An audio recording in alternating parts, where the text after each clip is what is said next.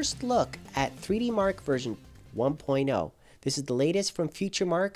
It is a great way of testing different types of hardware. So from mobile devices to your netbook or home PC or your hardcore gamer PC. They've got three different tests the Ice Storm, the Cloud Gate, and the Firestrike. I'm going to do, be doing the uh, Firestrike and uh, testing that on the default preset and the extreme preset. I've got two different machines that I'm going to use this on. Here are the system requirements for it. You can download it from Steam or independently. I'll give you the link below just in case if you want to try it out right now. The free version allows you to run all tests and um, and then you can view them online, for example, which is great.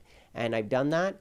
Or uh, thanks uh, to FutureMark, I've been given the professional edition, which allows me to customize the tests or run each test individually. Now, because of that, I'm going to focus on this first look on running only the Firestrike test, which is for high performance gaming PCs, right? Because that makes sense. That's what I've got here. So we're going to Worry about the other tests another time, and for this first look, concentrate on that specific test. So I've got an AMD machine, I've got an Intel machine, same graphic card in both machines, and we're going to see the results. Now, I did have to upgrade the um, drivers to the latest beta drivers because the um, official drivers that are out are not necessarily being recognized properly by this first release of 3D Mark.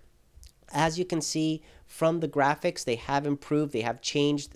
We're using DirectX 11, obviously. There's hardcore tessellation happening here, and also physics tests have been improved. So we're going to put the latest hardware to the test, and that's what I like about having a new benchmark tool that can really give us a, a better idea on how uh, the latest computer components are um, benchmarked today, not uh, necessarily with older uh, benchmark games and tools out there. So it's good to try something new. However, we're going to have to wait for the drivers and the um, updates for this 3D Mark to come out so we can get consistent results and compare them online with other people's uh, results as well. Right now, that is not currently available. So this gives you an idea, though, on the um, different type of uh, test. This is the CloudGate uh, test for um, home PC and netbooks and laptops, for example. That's what the graphics um, look like and are um, gives you an idea okay? But the uh, test that I'm focusing on here and comparing with my two machines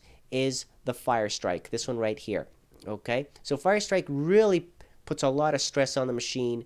Um, you can see it stutter at times you know the frames per second go all the way down. You can tell it's really pushing it to the limits on it when uh, when I was watching the tests go through on different uh, on different um, tests, of course.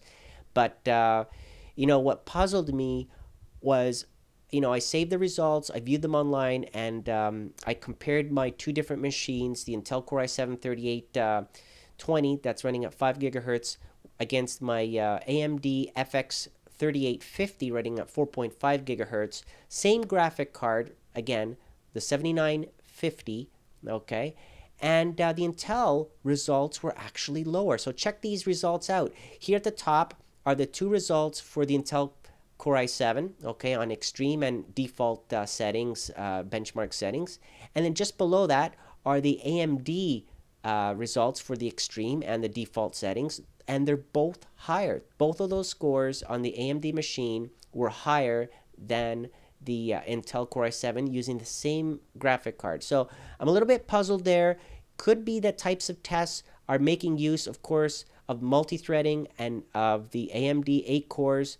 There's definitely something that I need to check out and I'll get back to you on that on the next video that I do on this. But if you want to try it out, let me know what scores you got. And again, thank you for watching.